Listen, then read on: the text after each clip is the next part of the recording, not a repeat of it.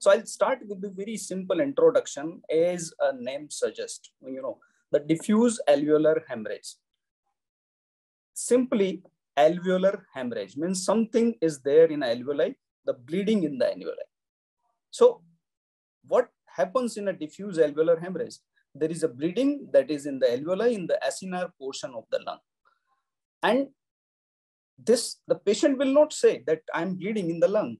You know, this is the problem. And that is why this, this DAH is actually a very significant therapeutic challenge for everyone because the presentation symptoms are similar to any other respiratory diseases. This may caused by various kind of immunological or non-immunological diseases, but we need to identify because the treatment actually differs what is the etiology of the DAH. And very important point, despite of a diagnosis, the mortality in this DAH is very high. And this mortality actually increases if we delay in a diagnosis. The mortality even can go up to 50% if we delay in the diagnosis. That is why the prompt identification and diagnosis, as well as the underlying cause of the DAH to identify is very important as far as the DAH part is concerned. We will just focus on, you know, start with the clinical presentation, how these patients presents to us. So any patients of the DAH comes with the simple hemoptysis, hypoxemic respiratory failure, and the drop in hemoglobin. We can remember it as a synonyms. A DAH stands for D for dyspnea, A for anemia, and H for hemoptysis. So the patient will present with the breathing difficulty, will have a drop in hemoglobin, and hemoptysis is a complaint. But at the same time, we need to remember that this hemoptysis is not like the patient will have the hemoptysis every patient. No. These patients, only up to 60 to 70% of patients may present with hemoptysis. 30 to 40% up to one third of the patient may, may not show any symptoms of a blood in sputum or hemoptysis.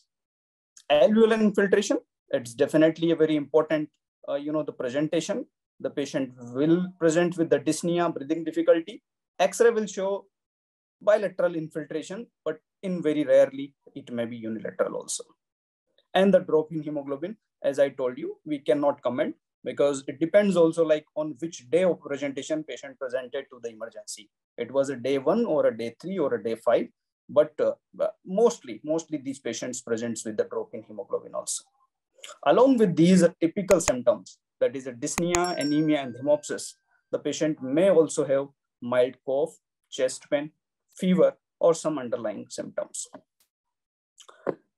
The causes of a DAH is mostly related to immunological or collagen vascular diseases like the Wegener's, micropen, Goodpasture syndrome, antiphospholipid syndrome. It may also associated with the infectious disease, any kind of infections. Even, you know, uh, the simple viral infection can present with the DAH.